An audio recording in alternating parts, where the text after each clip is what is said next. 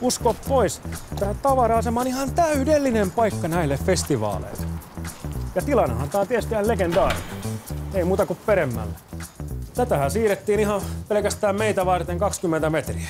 Ai se siirrettiin. Siirrettiin, siirrettiin. Ehkä nyt kun miettii jälkeenpäin, niin siitä ehkä saattoi joku pahoittaa mielensä, mutta tässä se nyt on. Tavara-asema. Ja Hans, Ja meikäläisellä on paras tykki, eli Marko asian päällä. Kuulin, että täällä onkin kaikki jo melkein valmiina. Mennään katsomaan.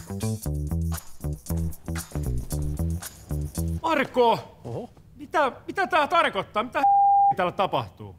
Oho, pääsitte yllättämään. Tota, okei, täällä on kaikki vähän kesken, mutta hei, kyllä tää tästä vielä järjestyy. Ootteko te nähnyt muuten meidän vetonaula?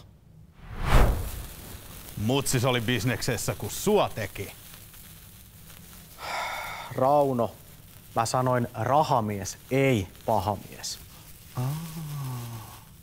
Mutta jos tykkäätte, niin kyllähän tääkin toimii.